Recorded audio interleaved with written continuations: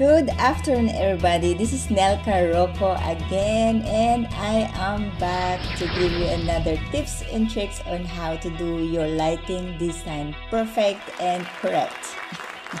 okay, so I received a cute uh, comment or message or questions from our friend in Facebook because I uploaded this project, and this uh, this question is from Simon Klein and he said, Hello, this potential round, how to turn it off. I couldn't find it.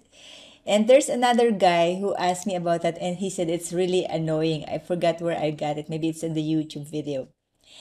Uh, yeah, so this is the one that he said the potential round one that looks annoying. okay, so I'm working with the emergency lighting of this power plant. And yes, client, it's very easy to remove this one. So just go to this display option on your upper right hand corner screen and then press this little leaf in your screen, the display energy consumption. Yep, now it's gone. When you click it, it's back. Okay, so it's just the measurement of your energy consumption. So if you're not concerned of you or if you don't want to use this one in your report, just turn it off like this one. Or if it really annoys you in your screen, yeah, you can turn it off. And that's it. That's how easy to turn it off and on. So I hope you learned something today and I'll see you again on the next video.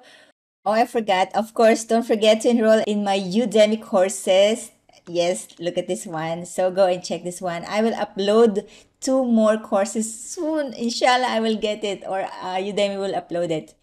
Um, yes, and of course, don't forget to check my books in Amazon.com. So these are my books in Amazon. So, yep, that's it. And see you again on the next video.